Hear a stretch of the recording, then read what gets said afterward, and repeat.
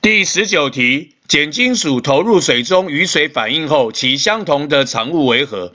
我们上课教过，这个是碱金属的通性，就是碱金属跟水作用会产生氢气。如果我丢下去的是氢钠，那么会产生氢氧化钠，没有氢氧化钾。如果我丢下去的是钾，会产生氢氧化钾，没有氢氧化钠。所以第十九题问我们说，碱金属投入水中与水反应后，其相同的产物为何？我们答案选的是 C，氢气。